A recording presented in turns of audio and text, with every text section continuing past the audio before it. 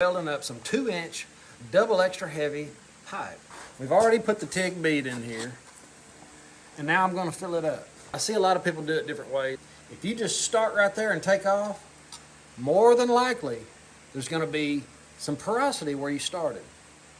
Porosity almost always, unless it's wind or mud or oil related, you know, some kind of contaminant, is in the start. The best way I found to start up is you see there's a little dimple right there where I left off. Get a little closer, Jose.